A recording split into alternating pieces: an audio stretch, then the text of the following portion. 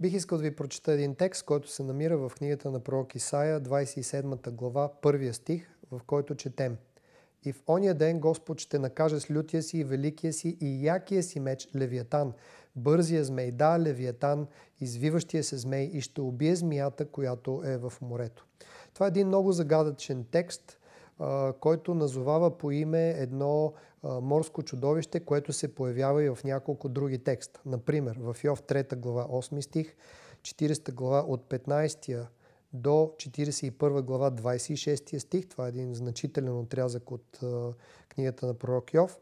А след това е в Псалми 74, 14, 104, 26 и а, текста, който ви прочетох. Исаия 27, първия стих. Тук се натъкваме на едно лично име на змей и а, името Левиетан не е вид същества, а точно определено същество, с което евреите са свързвали определени свои убеждения. Днес бих искал да отговоря какво е или кой е Левиатан в библейските разкази, с какво е бил свързван той. Дали това е реално съществуващо чудовище, което живее в дълбините на морето, дали наистина той е многоглав, подобен на змия, змей, или той е символическо същество. Нека първо обаче да кажа следното. Името Левиатан или неговия ханаански еквивалент, който се изговаря като литано – и се превежда като извиващия се или образуващ кръг, още веднъж литано, извиващия се или образуващ кръг, се намира, за първи път в древните текстове от Угарит, намерени в средата на 20 век в малкия град Угарит, съвременна Сирия, около Средиземноморието, където са открити всички религиозни текстове на финикийците и хананците, чийто върховен бог е бил Ваал. Там се открива името Литано и то е асоциирано с а, митологично същество, което е обгърнало а, кръга на земята или диска на земята и като че ли я е стегнало в своя обръч. Тъй като знаем, че а, древните хора са си представили земята като плуващ диск в морето, а водите и морето като цяло е било свързано с силите на хаоса, изобразени митологически и символически с името Литано, извиващия се змей, който в много от хананските религии е бил поразяван от върховното божество. Така е в шумерската, шумерската религия, така е в вавилонската религия, така е в а, религията на хората, чието текстове са ни оставени в Огаритската библиотека. Тези текстове са по-древни от библейския текст с хиляда години. Те датират от третото хилядолетие преди Христа, поне хиляда години преди началото на написването на Тората и на библейския разказ, в който ни се говори в Битие 1 глава 21 стих, че Бог след като създаде морето, изпълни го с най-различни форми на живот и там създаде морските чудовища. Танин на еврейски язик. Левиатан е морско чудовище. Левиатан е танин. Думата танин срещаме и на други места, но отново и в книгата Йов, 7 глава, 12 стих. Бих искал да продължа своите разсъждения с отговор на въпроса дали библейските автори и дали ние трябва да разбираме, че Левиатан е буквално съществуващо същество. Един определен а, индивид от някакъв изчезнал вид.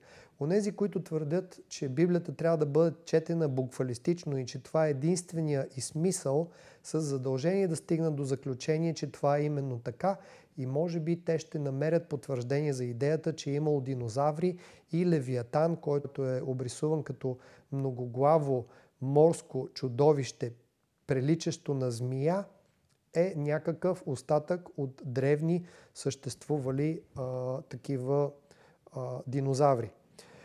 Лично аз мятам обаче, че Левиетан е символическо същество, митологично същество. Да, в Библията са съхранени някои от митологичните елементи и митологичните образи, които намираме и в други а, сродни религии, както от същия времеви период, така и от същите географски ширини. И лично аз твърдя, че не във, свой, във, своя, във всяко свое вярване евреите са били контрапункт на езическите религии около себе си. Напротив, има много моменти, в които евреите и особено еврейските пророци са взимали определени образи от езическите митологии и са ги усмивали или са ги иронизирали.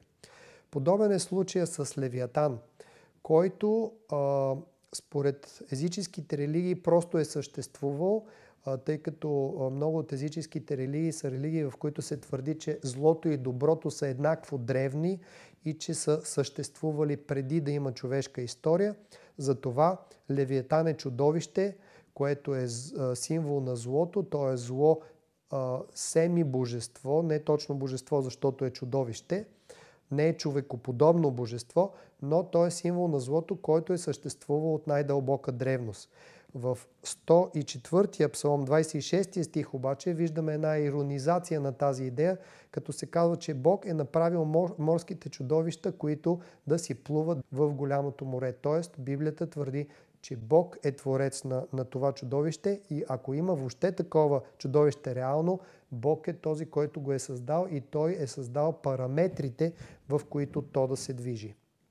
Защо обаче в няколко текста пророците призовават Божията ръка, Божия меч да съсече Левиатан или Раав, друго подобно на него същество и дават обещание на Божия народ, че един ден Божия меч ще порази Левиатан, който живее в морето.